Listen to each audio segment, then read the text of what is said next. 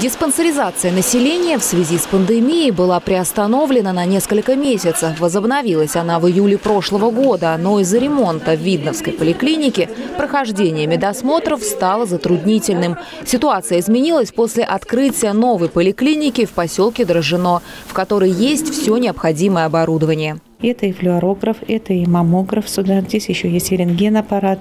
А, но самое главное, вот это тяжелое оборудование, которое уходит, оно есть на этой базе. С февраля в Южной поликлинике работает отделение профилактики, организованное специально для прохождения диспансеризации. Пройти всех врачей можно в течение двух часов. Это пилотный проект был поставлен как бы правительством нашей Московской области Андреем Юрий, э, Юрьевичем Воробьевым, чтобы жители могли прийти в течение двух часов пройти э, значит, вот этот диагностический скрининг на э, выявление социально значимых заболеваний. Отделение работает ежедневно с 8 до 20 часов. Здесь оборудованы кабинеты для приема пациентов. Медосмотры проводят 5 врачей. Записаться на прием можно через портал госуслуг или просто посетить поликлинику в любое удобное время. Так поступила Елена Фадеева. 60-летняя женщина проживает в поселке Новодрожжино. Медучреждение расположено недалеко от ее дома.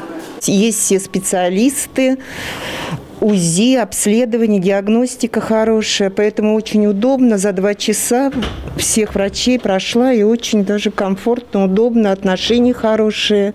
Диспансеризация – это профилактический поход в медучреждение, для которого не нужны симптомы в качестве причины. Как рассказал врач-офтальмолог Дмитрий Емелькин, главная задача профилактического медосмотра – выявить патологии, о которых пациент, возможно, и не подозревает. Зарубность очень сильно сейчас прогрессирует в связи с развитием технологий, гаджетов. Поэтому стараемся контролировать, наблюдать, ну и вовремя лечить. По итогам прошлого года в Ленинском городском округе диспансеризацию прошли около 20 тысяч человек. Напомним, что право на бесплатные ежегодные диагностические исследования имеют граждане с 40 лет, а в возрасте от 18 до 39 диспансеризация проводится один раз в три года.